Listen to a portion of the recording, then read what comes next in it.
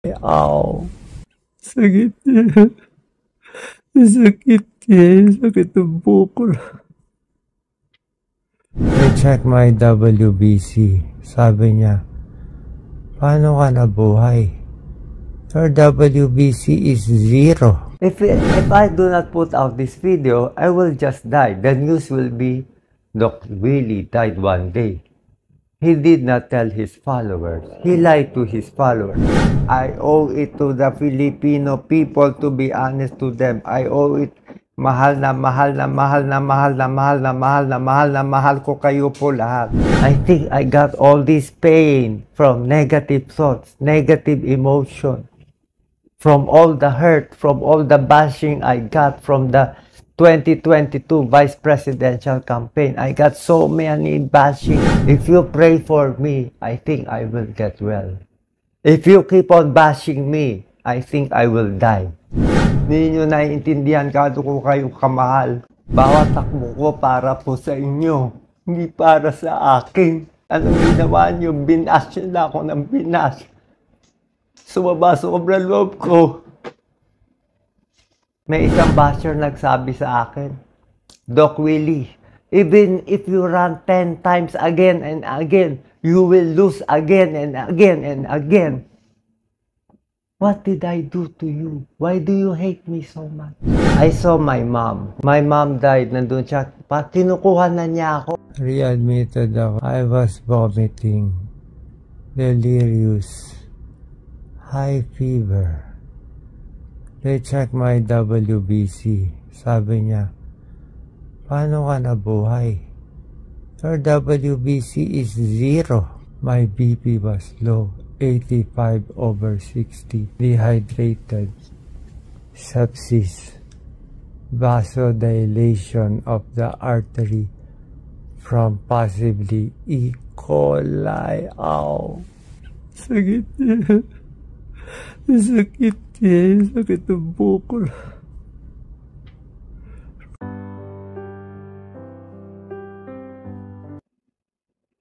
Kamusta po sa mahal kong followers? How are you? Update ko lang po kayo sa condition ko ha. Walang iyakan muna, buhay pa naman ako. So today, ginagawa ko tong video, September 11, 2024. What time is it? Mga 11 a.m. 10 a.m. Okay, 10 a.m. You know, parang may transformation po sa akin. Hindi ko alam. Parang, alam niyo, gabi-gabi, parang may pumapasok na spirito dito. Hindi ko alam ano nangyayari. At meron ako mga nakikita. Kukwento ko sa inyo. Sabi nga nila, eh, yung mga may cancer patients, I have sarcoma. Para sa mga doktor, you can use me as your case study din, ha? Okay lang po. Hindi ako magagalit. I will allow it. Use Doc Willie on case study. Ganito yan. Uh, my diagnosis is sarcoma. One of the most hardest cancer to treat. It is 16 centimeter by 12 centimeter by 13 centimeter hidden inside my abdomen. The cancer situated itself in a very tricky and devious manner. It started from the T10, T11 spine. It grew to 16 centimeters. This sarcoma, it is so destructive. It blocked half of my esophagus. See, it is hard to swallow.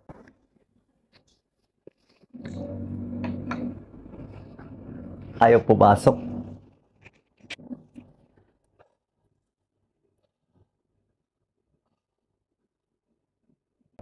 Bukod sa, hindi ko tinatawag na salbahe ang cancer, ha.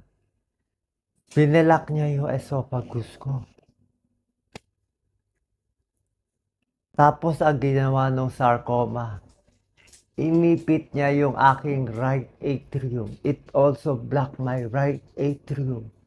Almost compressing my heart. Look at my veins. And worst of all, you know what happened? This sarcoma is almost closing my inferior vena cava. My feet, grade 3 edema, swollen feet yesterday. Today, grade 1 edema only. See. See, grade 1 edema. Grade 1, grade 2. Up to here. It's a pitting edema. See, it's a pitting edema.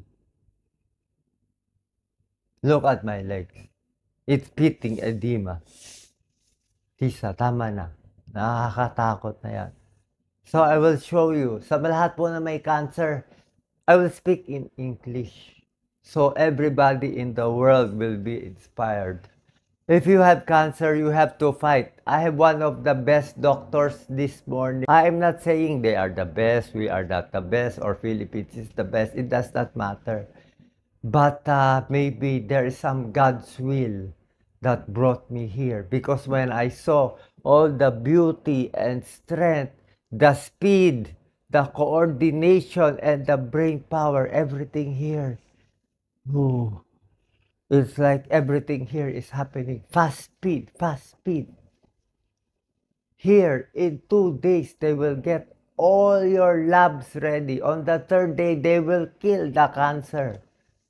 So on the third day, I had the first chemo. The problem, I, I am admitted right now for one of the side effects of chemo, which is low WBC, which led to my condition now. You will, you will be very surprised sa mga doktor po dyan. For those doctors and health workers watching, my diagnosis right now is neutropenic sepsis. So, ano po, ah, what I should do as cancer patient, I was given this regimen, doxorubicin, but my hair, it fell a lot. But they say all this hair will fall off. So look at it while I still have hair.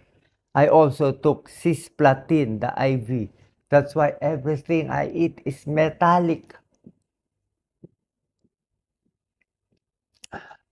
Have sores because chemotherapy, they say, is a poison. It kills the cancer cells, but it also will kill some of your healthy cells. But the issue right now is we have to attack the cancer. The 16 cm mass, doctor says it is inoperable. Too many blood vessels already attached to it. I thought last week I was dead already. In the Philippines, I do not know if I will live or I will die. This is not about issue about country. Wala po. Parang God's will lang to. So, you judge, you bash, you do. Sa akin lang ha, if you pray for me, I think I will get well. If you keep on bashing me, I think I will die.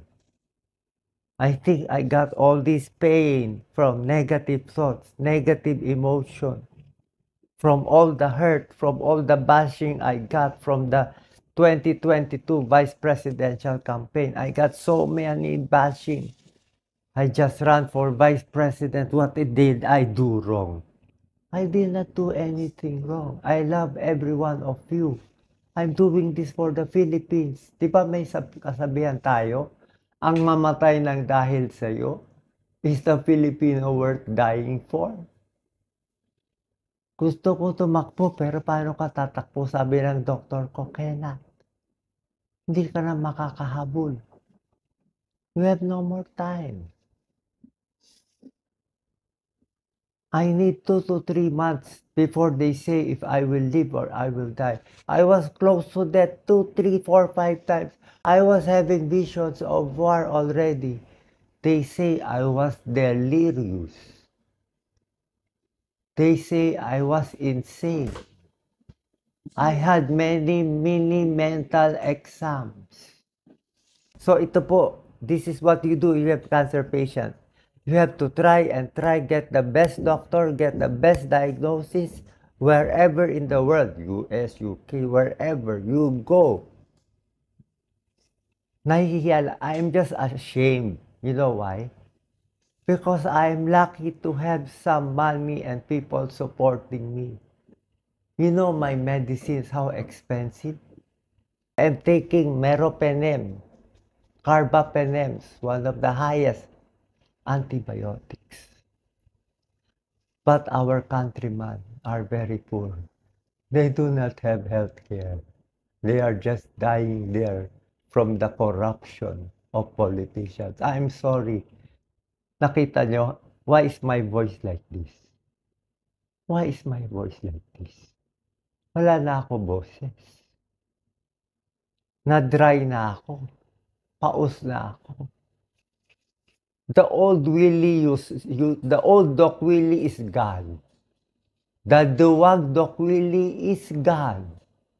This is the new Doc Willie. This is the matapang Doc Willie O. Kaya pag sabihin nyo, duwag at pagpagtok si Doc Willie, yun yung luma ha. Iba na to. Pasensya na po mga politiko, masasagasaan ko na kayo ngayon. Anyway, pa, ako, pagat ko dila ko, mas mali siguro sinabi mo, Doc. Anyway, I'm dying. I don't care anymore. I don't care. I will tell you the truth. Politicians are corrupt in the Philippines. Sorry po ah, kaibigan ko kayo lahat. Pasensya na po. Nagkakavision ako kagabi. I asked my doctor, every night I dream, there is a black hand trying to attack me. You can say I am crazy, okay lang. I do not have fear anymore. I don't care if you bash or like me anymore. I will tell you the truth. Let me drink a little rose.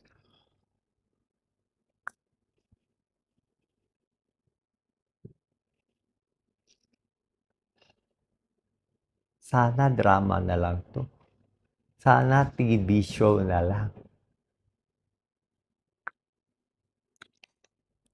All this food, they taste like metal. This watermelon for you tastes ordinary, but for me,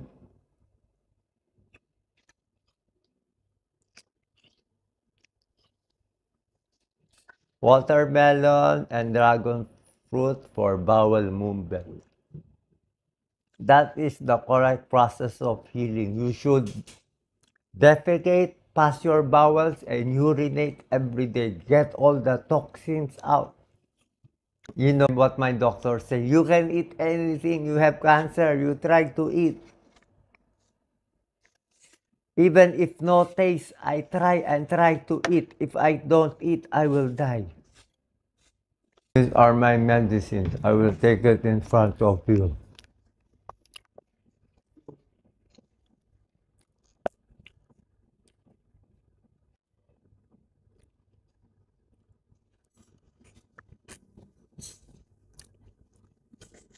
My relatives do not want me to make this video, but I said I owe it to the Filipino people to be honest to them. I owe it mahal na mahal na mahal na mahal na mahal na mahal na mahal na mahal ko kayo po lahat. Hindi nyo naiintindihan kado ko kayo kamahal. Bawat takbo ko para po sa inyo, hindi para sa akin. Unang campaign ko, wala akong gastos kahit na pangalawa, wala akong gastos, wala akong niloko, wala akong inaway. Anong ginawa niyo? Binas niyo na ako ng binas. Sumaba sobra loob ko. Filipinos should be more caring, more honest. That's why we have all these hardships.